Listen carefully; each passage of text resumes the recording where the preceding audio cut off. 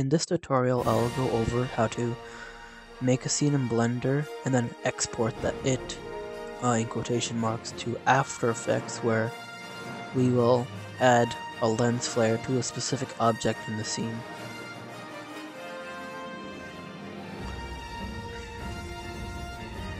First, we should make our scene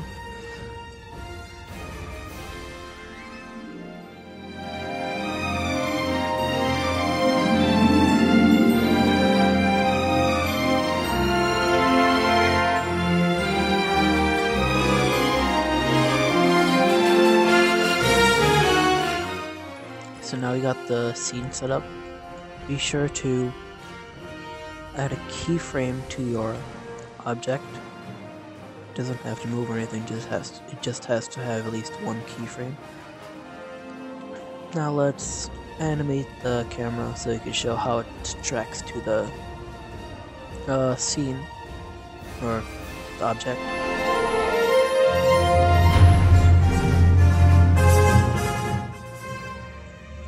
Now let's just set this to like 140 frames.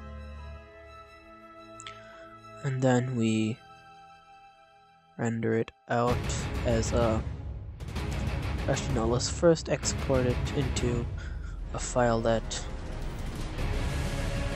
uh, After Effects can read. So go to add-ons, search after, um, ch check this on, save, and then you should be able to export. It'll be After Effects. Uh, just name it whatever you want, and then it'll export the. Oh wait.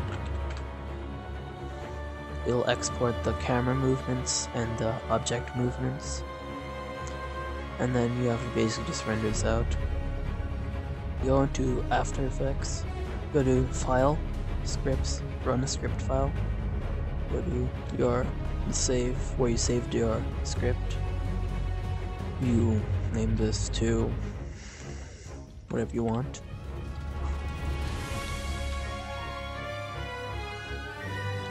You open that, and now if you click the sphere,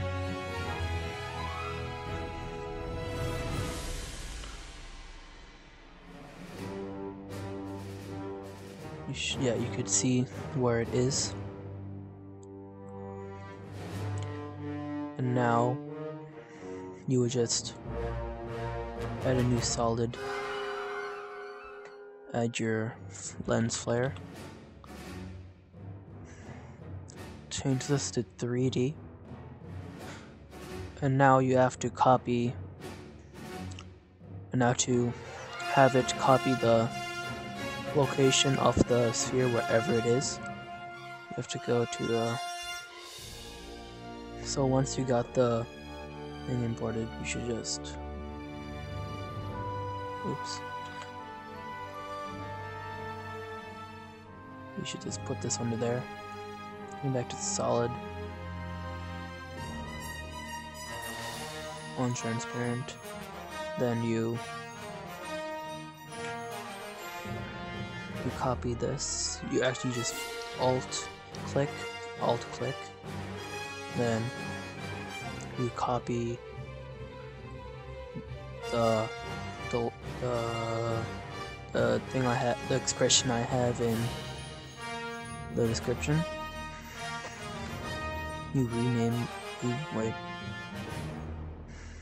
First, you should get. You should rename this into flare Um, object. Go back to this. Flare object.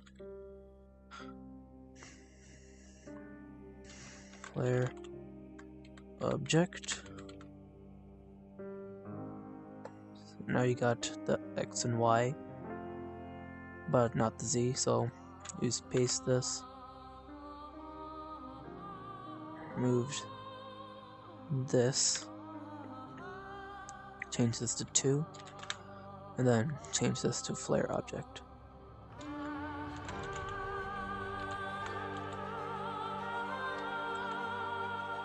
So now it is properly tracked to your to the to the well almost perfectly I guess.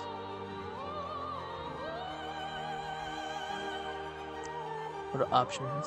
Well and then to whatever flare you want. I like the tag light. And now, just, oh yeah, just press disable 3D perspective.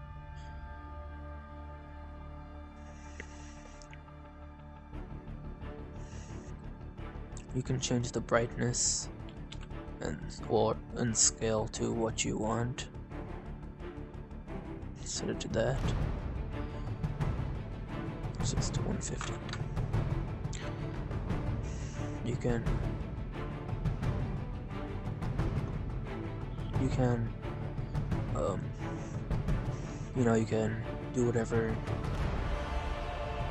stuff comes with the the uh plugin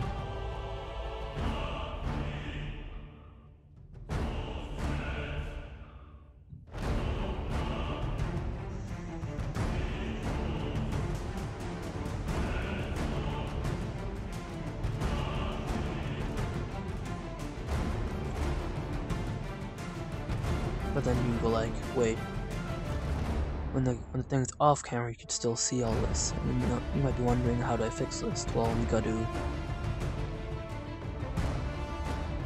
you have to keyframe the brightness. So, should add a keyframe here.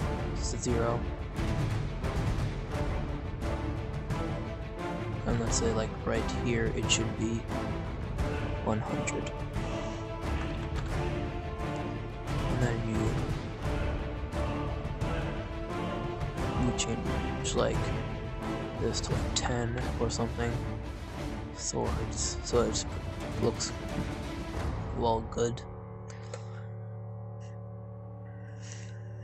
But that's the thing you have to do manually.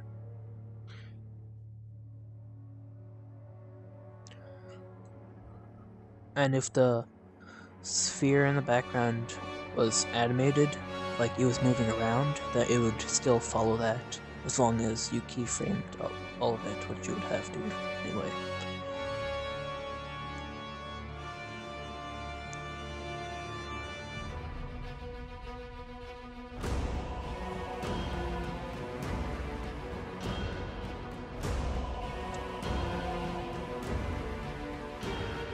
So if you enjoyed the tutorial, please like, subscribe,